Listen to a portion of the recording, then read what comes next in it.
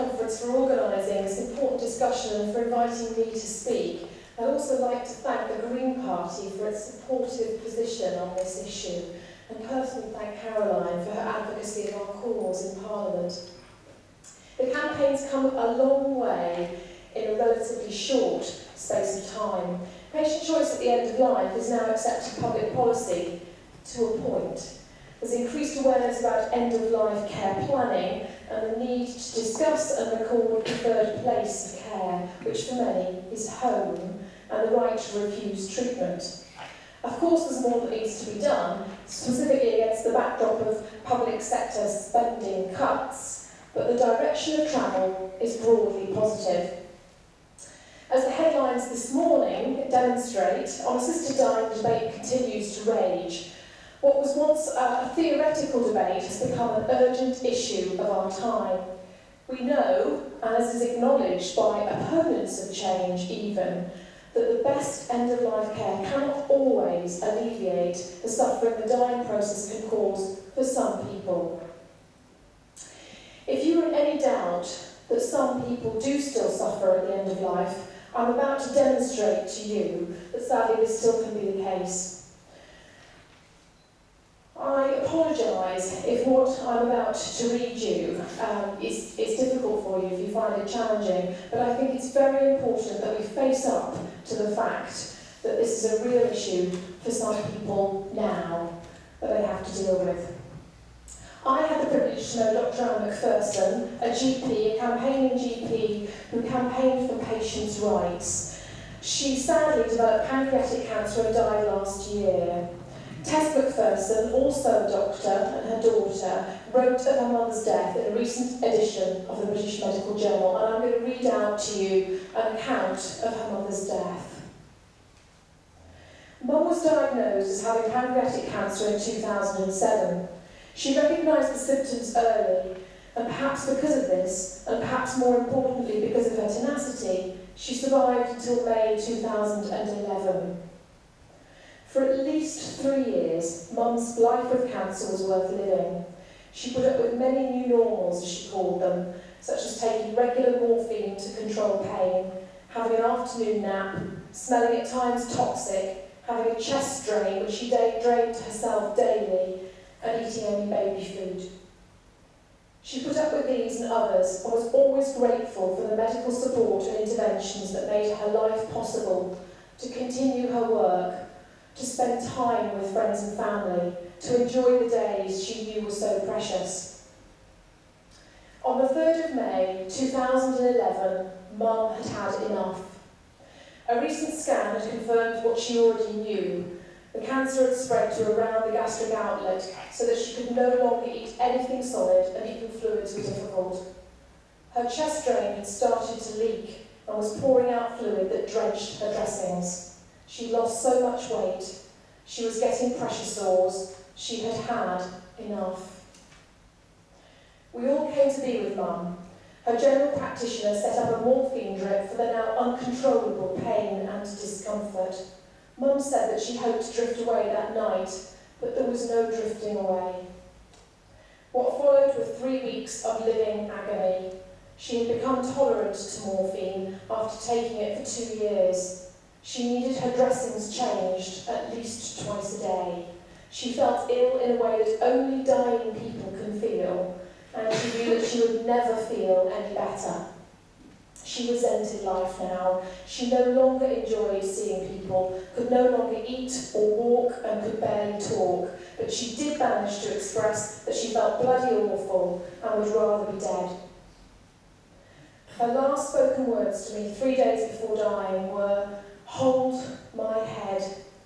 There was no dignity, there was no mum, just a wounded animal who needed drips changing regularly. After each night we expected her not to wake, but her body fought on. It is an honour to care for someone you love, but it no longer felt honourable to try to care for someone who wanted to be dead. On the final day, was syringe drivers ready when something changed in my mum's breathing. The nurse explained that she would die soon and left us. We were with mum, and that was what she wanted. As she died, her body seemed furious with its final fight, gasping to the end. With a desperate, haunting shudder from Mum, I found myself sitting in pools of expelled fluid. That was not what she wanted. Mum had seen this happen before and wanted it avoided for future patients and their families. It is simple. The law needs to change to allow terminally ill but mentally competent people the right to a more dignified death than my mum. Now, Tessa's account is shocking, but I think it's important that we actually listen to the kind of accounts that people are going through now because of this cruel law This is not a theoretical debate, it affects, it affects real people's lives. Ultimately, it's going to affect all of us. So, will the law change in the UK? As we've just heard, other jurisdictions in Europe, as well as the US, have legalised and regulated some form of assistance to die, and the fears of opponents who are opposed to change can now be tested against the reality of what is happening in Belgium, in Holland, in Luxembourg, in Oregon, in Washington and Montana. I'm going to tell you about where the law stands in this country at the moment and set out the next steps in our campaign. I also want to tell you what you can do now to ensure that you will have the kind of death that you want, which after all has to be the test of having a good death. As Caroline has said, on the 27th of March this year, for the first time ever, Parliament endorsed a policy allowing others to assist someone who has chosen to end their life. The debate was a milestone and it saw a shift in opinion in Parliament. When the guidelines were first published, some MPs criticised the DPP for overriding the will of Parliament. There was even a call for new legislation to enforce prosecutions in all circumstances and regardless of motive. Uh, and will come as a relief to many that over time and on careful reflection, there is now unanimous support amongst parliamentarians for the approach taken by the DP, DPP. But yet it seems to make no sense to me, nor to clearly Junior Health Minister Anna Soubry, after listening to her, what she had to say this morning, that a country permits its citizens to go abroad to get professional help to die, but will not allow it at home. On the day of the debate, and despite the consensus on the DPP's guidelines, there was a sharp division of opinion as to whether the law should go further to allow assisted dying in this country within upfront safeguards.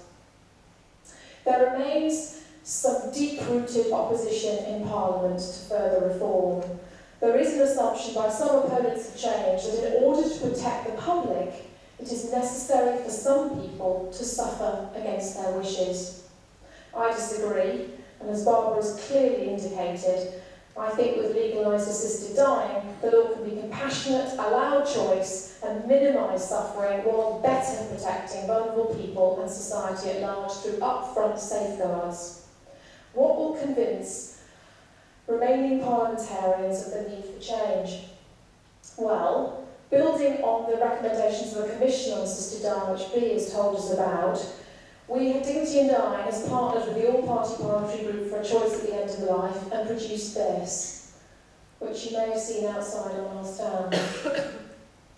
it's a draft assisted dying bill for consultation. The draft bill is very, very similar to the law in Oregon, as Barbara set it out, and it would allow for a dying competent adult to request an assisted death, subject to verification of prognosis and capacity by two doctors.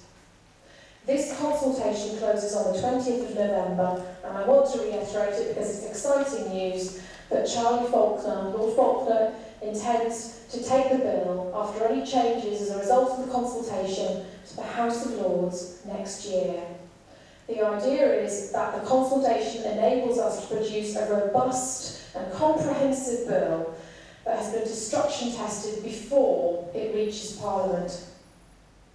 I ask you whether opposed or supportive or somewhere in the middle, to respond to this consultation. We want to hear all views and we have an open mind to suggestions that could improve the bill and the process that's set out within it.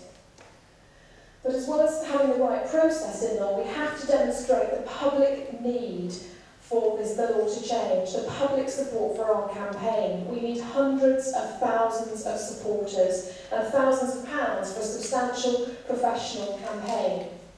If you're supportive of a change in the law that would mean people have the choice of a more dignified death than Anne McPherson did, please make your voice heard. Join Dignity in Dying. We have membership forms outside at our stand. Write to the media, write to your MPs. If you're a healthcare professional, join Healthcare Professionals for Assisted Dying. And to have the best death possible yourself under our current law, think about how you would like to die and talk about it to your loved ones. Make an advance decision or a living will which sets out your wishes. Our charity arm provides them free, as well as a free information line on how to fill them out. If you are diagnosed with a life-changing illness, talk to your doctor about prognosis and what your wishes about treatment are. You have a legal right to refuse it. Talk about where you would like to be cared for. Your wishes are likely to change, so keep discussing them. Perhaps appoint one of your relatives or friends as your lasting power of attorney so they can make decisions on your behalf in case you can't communicate. Many people think family automatically have the right to do this, but that's not the case. The key is to talk. To talk about how you want to die when dying becomes a reality for you, because we all will one day. And finally, I will say that I hope you all have a good death, and I hope it's not imminent. Thank you. It's challenging.